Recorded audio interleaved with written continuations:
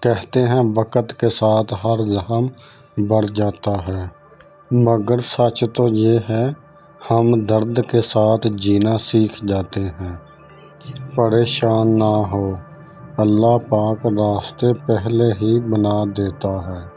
لیکن عطا صرف بہترین وقت پر کرتا ہے۔ بعض دفعہ لڑائی جھگڑے سے ایک قدم پیچھے ہٹ کر تباہی روکی جا سکتی ہے۔ جن کا بھروسہ اللہ ہو، ان کی منزل کامیابی ہے۔ بیٹی کی ذات اگر مقدس نہ ہوتی۔ حضرت محمد صلی اللہ علیہ وآلہ وسلم کی اولاد کا سلسلہ بیٹی سے شروع نہ ہوتا۔ پتھروں کے جڑنے سے گھر بنتے ہیں اور دلوں کے جڑنے سے گھر آباد ہوتے ہیں۔ رب وہاں سے دروازے کھولتا ہے، جہاں سے گمان بھی نہیں ہوتا۔ شخص بن کر نہیں شخصیت بن کر جیو۔ کیونکہ شخص تو ایک نہ ایک دن مر ہی جاتا ہے، لیکن شخصیت ہمیشہ زندہ رہتی ہے۔ اگر زندگی میں کچھ پانا ہے تو طریقہ بدلو۔ ارادہ نہیں۔ ایک ہی جملہ انسان کی تربیت کے لیے کافی ہے کہ اللہ دیکھ رہا ہے۔ ابھرنے سے پہلے ڈوبنا ہی پڑتا ہے۔ غروب ہونے کا مطلب زوال نہیں ہوتا۔ مسلسل اہمیت دینے کے باوجود بھی اگر رشتے بے قدرے اور بد مزاج رہیں، تب رہنے کی بہترین جگہ حدود ہے وہ اللہ ہی تو ہے، دل کی خاموشی کو جو سمجھ لیتا ہے۔ اگر حالات پر آپ کی مضبوط گرفت ہے اور زہر اگلنے والے بھی آپ کا کچھ نہیں بگاڑ سکتے۔ اچھا انسان متبلی نہیں ہوتا، بس وہ دور ہو جاتا ہے۔ ان لوگوں سے جنہیں اس کی قدر نہیں ہوتی۔ اللہ نے سات سمندر پیدا کیے، لیکن محبت وہ ایک آنسو سے کرتا ہے۔ معافی مانگنے میں پہل کرنا بہادر ہونے کی علامت ہوتی ہے۔ المیہ تو یہ ہے کہ لوگ حقیقت میں معافی مانگ کر حقیقی اذیت دے کر مصنوعی معافی مانگتے ہیں۔ وہ شخص کبھی بھی کامیاب نہیں ہو سکتا۔ ناکامی کا خوف کامیابی کی چاہت سے زیادہ ہو۔ وہ سب جانتا ہے کہ کس کو کب اور کہاں دینا ہے۔ لوگوں کو کوئی فرق نہیں پڑتا کہ آپ کہ آپ خوش ہیں کہ نہیں۔ انہیں بس اس بات سے فرق پڑتا ہے۔ کہ آپ نے انہیں خوش رکھا ہوا ہے کہ نہیں۔ جب کہہ نہ پاؤ تو رو دیا کرو، کیونکہ اللہ تو سب جانتا ہے۔ پرسکون تو وہ ہے کہ جس کو کم یا زیادہ کی فکر نہیں، جب کسی کا وقت آپ سے قیمتی ہو جائے تو وہاں آپ بھی اپنا وقت اور احساس اور جذبات ضائع نہ کریں۔ انسان کے ہاتھ میں صرف کوشش لکھی ہے، کامیابی صرف اللہ دیتا ہے۔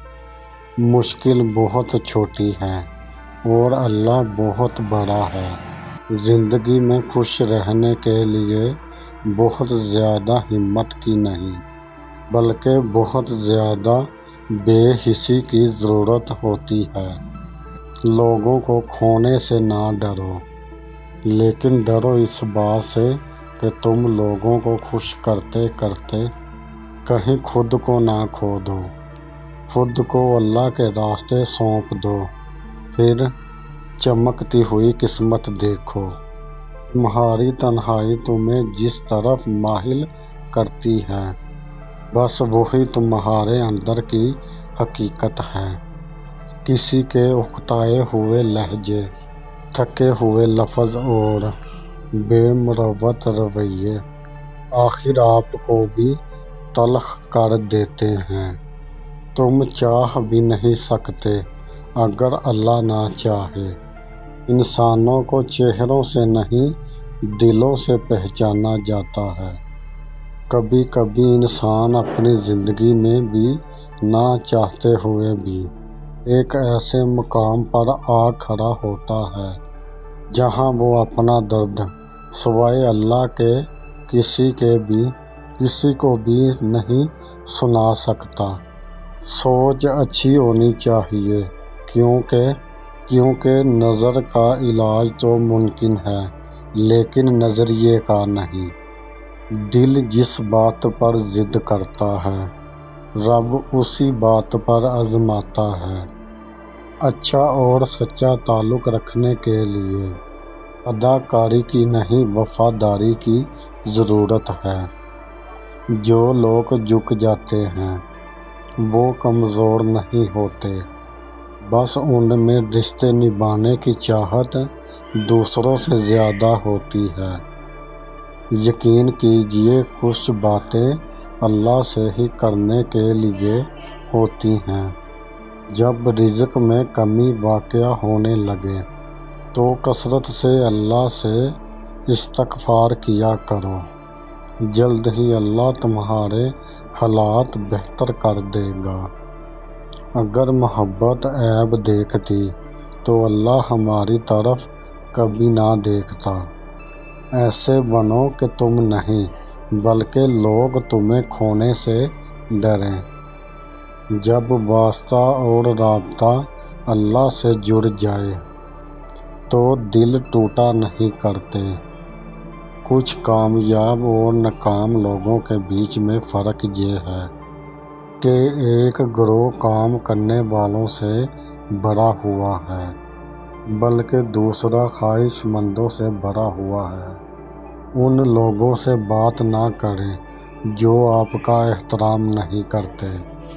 صبح کے وقت بس ایک چھوٹی سی سوچ آپ کے پورے دن کو بدل سکتی ہے۔ اپنی پریشانیوں کے لیے دوسروں پہ الزام نہ لگائیں۔ کامیاب آدمی وہ ہے جو دوسروں کی پھینکی ہوئی اینٹوں سے اپنی مضبوط اینٹوں سے مضبوط بنیاد رکھ سکیں۔